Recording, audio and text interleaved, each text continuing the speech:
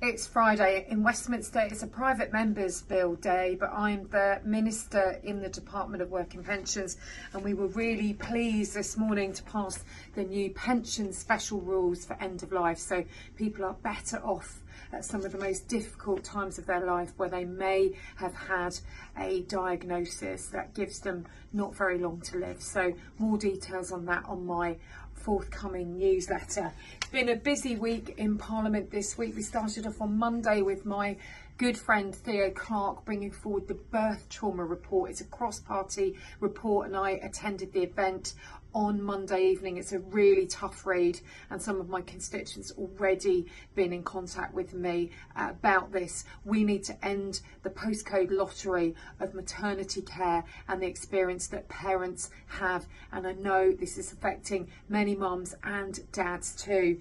We've had a lot going on this week. We've had the far, uh, Farm to Fork Summit uh, with the Prime Minister this week and backing British farmers across our area in Mid Sussex is crucial and all of the new schemes I know are getting a really welcome reception from the work that DEFRA is doing. I also recently joined with my fellow Mid Sussex MP Andrew Griffiths the Lloyd's Farming reception, again making sure access to cash and investment is there.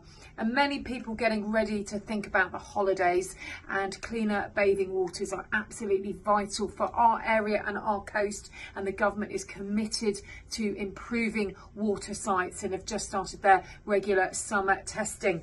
There's a lot of spin on this going around. Let's show you this from the Lib Dems.